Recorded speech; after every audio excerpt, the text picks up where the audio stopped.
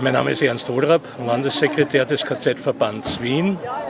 Äh, es ist notwendig, heute hier zu sein am Kallenberg, um den Faschisten nicht das Wiener Stadtgebiet zu überlassen. Und jeder Millimeter, den sie marschieren, ist zu viel. Und daher ist es gut, wenn junge Leute und der KZ-Verband in Verbindung hier sind und gegen diesen Auftritt auftreten und demonstrieren. Okay, aber das ist, man sieht weit und breit keine, keine Rechten. Äh, sie verstecken sich noch auf dem Parkplatz, aber sie werden irgendwann einmal kommen. Die Polizei spricht im Moment von 60 Idis, die sich sammeln. Wir haben jetzt den Bus, wie wir raufgefahren sind, selber sechs von ihnen kennengelernt. Also sie sind in der Gegend und wir werden so lange hier bleiben, bis wir nicht mehr demonstrieren können. Danke.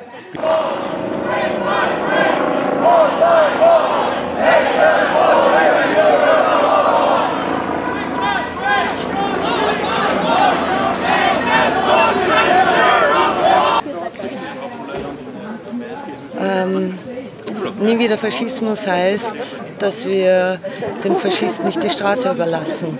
Deswegen sind wir heute hier, weil hier Neofaschisten marschieren und die sich als sogenannte identitäre Bewegung tarnen. Das ist der eine Punkt und vielleicht ähm, ähm, kann man das äh, wie das ähm, Café Kobenzl auf den Punkt bringen die äh, zum Beispiel gesagt haben, wir wollen keine Faschisten. Also grenzgenial. Die haben denen keinen äh, Platz gewährt in ihrem Lokal, sondern im Gegenteil äh, für jeder kleine Braune. Ähm, äh, die Erlöse davon kommen jetzt im Dokumentationsarchiv zugute. Und das zeigt, und auch äh, Waldgrill Krubenzel hat gesagt, den Wickel geben sie sich sicher nicht.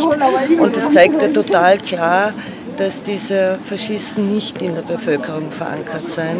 Und das ist uns enorm wichtig, kein Fußbreit einfach.